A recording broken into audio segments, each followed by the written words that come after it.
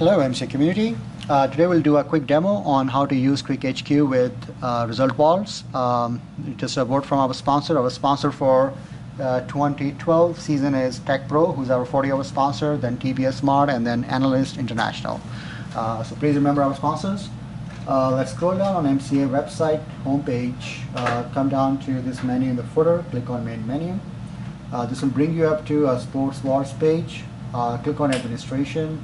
Uh, this will bring you up into a login screen. Uh, I actually already have the login screen up, so I'm going to get rid of it.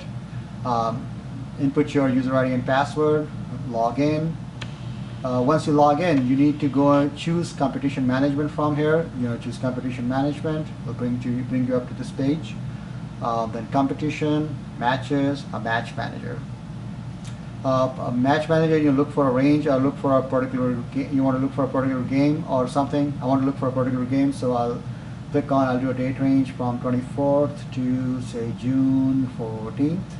Uh, do done and then search for the games. Uh, in this case, I actually want to score our, one of our upcoming games, which is say uh, between Strikers Whites and North Star CC. Uh, let's click on Actions. Uh, you will get to the screen, uh, click on Select Team.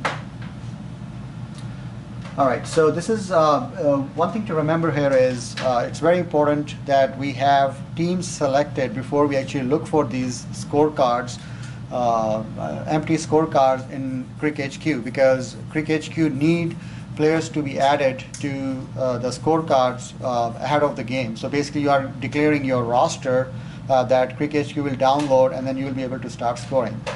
another point here being is you can see that there are players who are already selected here. Uh, there are players that you can select. Uh, once you have already used the ResultsVault system, uh, the next game that you go into score or choose player, you will already have those previous 11 players from your previous game uh, pre-populated. So this is, this, this is pretty slick. Uh, if you want, you can add more players here. Otherwise, you can just choose what the select players are. But you know, you can just choose players, you know, by doing a Control A, uh, and then just adding them, adding them out here too. Say we'll, we'll do that here uh, choose your captain, select a person, and then uh, select a person here, choose your captain, uh, wicket keeper, again select a person and choose your captain. Scroll down and do an update. Uh, this is available. Uh, if you have an option to choose other teams roster as well, let's just go in. Do this. Uh, uh, looks like North Stars has already used this system before as well, so they do have their 11 players listed here too. Uh, you can just go in and select this whole roster again or whatever you want to do. Uh, make sure that there are at least 11 players in this list and then just do an update. Once this is done, now we are actually ready to download the scorecard uh, to our CricHQ application. Remember, unless you do this, this, roast, this scorecard will not be available in CricHQ. So let's bring up uh, so let's bring up our CricHQ application here. Uh, so we just click on CricHQ. It'll do some of its uh, uh, background magic.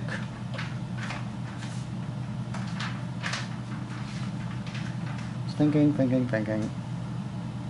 All right, click on HQ, uh, do a new match.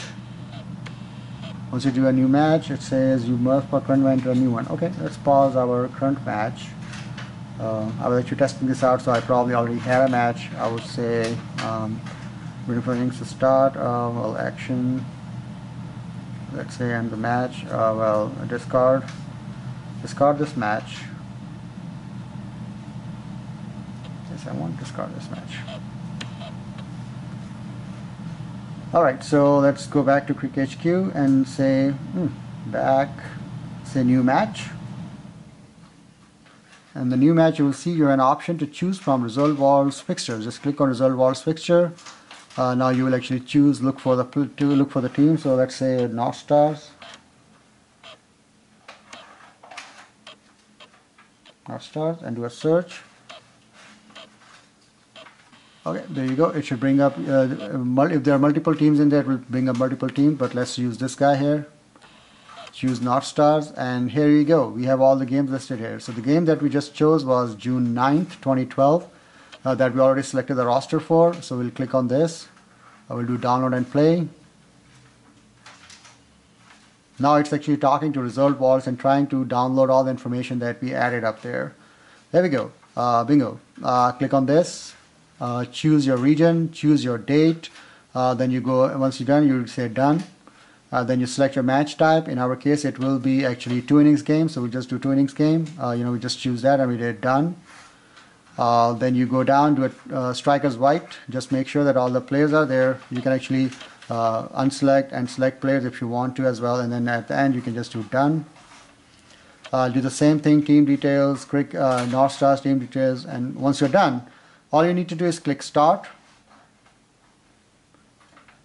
And boom, bingo, there you go. You're ready to score the game. Click on start innings and you can start scoring the game. Uh, now, uh, a word of caution here. Uh, if you're using an iPhone or something, please make sure that you have a valid internet connection all the time. So this score basically gets uploaded or updated uh, in real time. Otherwise, what it will basically do is it will score the game on your phone or on your iPod Touch